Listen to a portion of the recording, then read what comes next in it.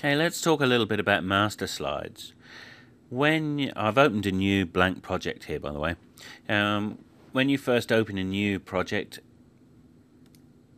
Captivate will give you one master slide.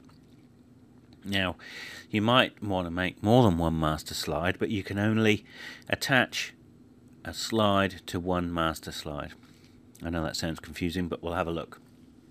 Over here on the right in the properties, I've got a little icon here which I can click to put a background on here. So let's do that.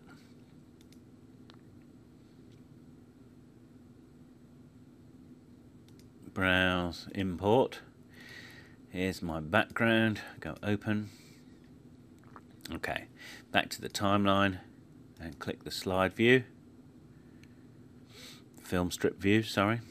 So I've got a blurry background here. If I insert a new slide, all the new slides that I insert will have this blurry background.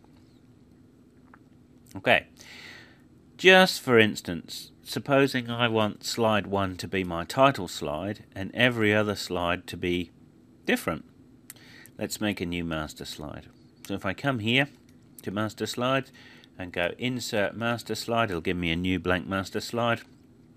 I only want that one to maybe on here just say, I don't know, Captivate training.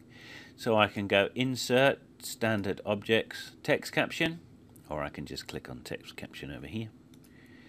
And I can say this is cap whoops sorry captivate training capital T. And I'll drop this down and say I want that as transparent.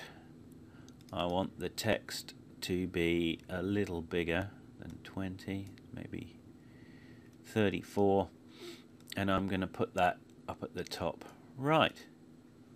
Okay, going back to the timeline.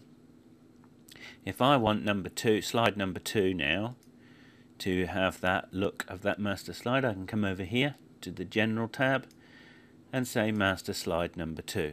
And then when I insert new slides, they'll all have that Captivate training.